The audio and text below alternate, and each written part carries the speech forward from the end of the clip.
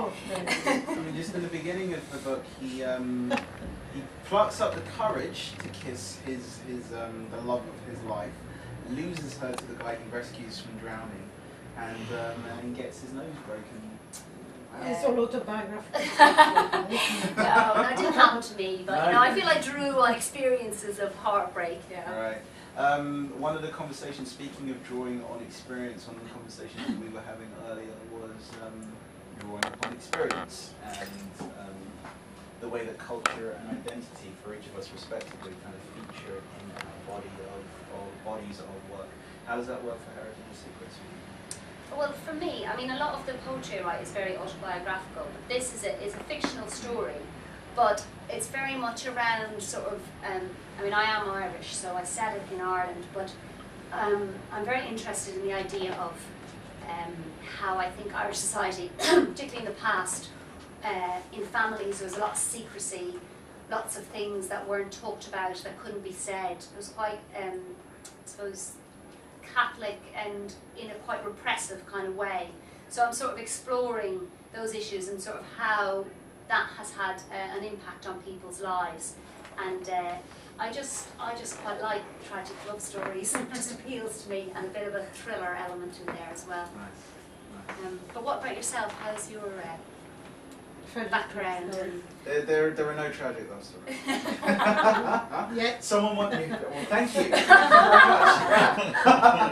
Thank you. Someone once described there's a poem that we've got in here um, that uh, prompted someone to describe me as a writer of was it um, dysfunctional love poems. Um, there's a poem in here that's been described as a, as a dysfunctional love poem, but in terms of culture and identity, um, my family's from Guyana. My mother moved to the UK in 1963, and um, I've always been interested, as long as I've been writing, I think, I've been interested in, in the notion of culture and the notion of home as well. Um, there isn't a great deal of specifically Guyanese stuff in Communion. Um, it, it's something that I am playing around with more in, in my next bodies of work. Um, but even in things, things like my mother's guitar and, and dealing with different generations of, of people within my family, um, I've, I've always been interested in this, uh, this notion of um, what's passed down in terms of traditions, um, how tra- traditions are maintained, how cultural history and family history is maintained and passed on. But also, I'm really interested in, in new traditions that are established.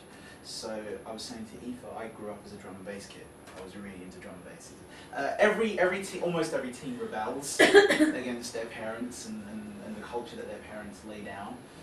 And for me, my forms of rebellion were hip hop music and, and drum and bass music, and particularly drum and bass because hip hop at the time was was very much an African American form, whereas drum and bass was was it was quintessentially British and youth.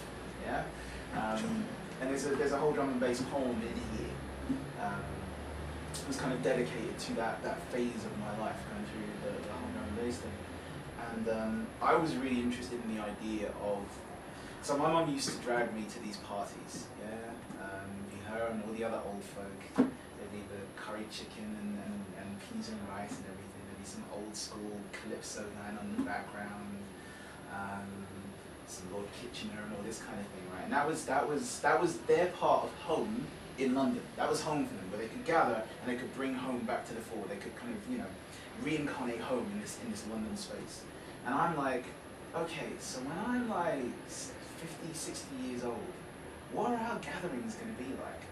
We're going to like break out a drum and bass CD come on! Is that what I'm going to be doing? You know.